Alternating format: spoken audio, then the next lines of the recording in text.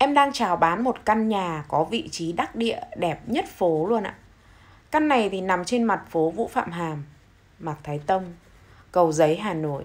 Căn nhà có diện tích là 97,5 m, được xây 5 tầng nổi và một tầng hầm. Căn này có mặt tiền khá rộng là 6,5 m. Nằm trên mặt phố hai chiều rộng 30 m, vỉa vỉa hè rất là rộng ạ. Nên rất là thuận tiện cho quý anh chị mua để làm nhà ở, làm văn phòng, làm spa hoặc showroom ô tô, kinh doanh nhà hàng. Nói chung là phù hợp rất là nhiều loại hình kinh doanh. Căn này thì đã có sổ đỏ. Quý anh chị quan tâm thì vui lòng liên hệ với bất động sản đất lộc 24 giờ.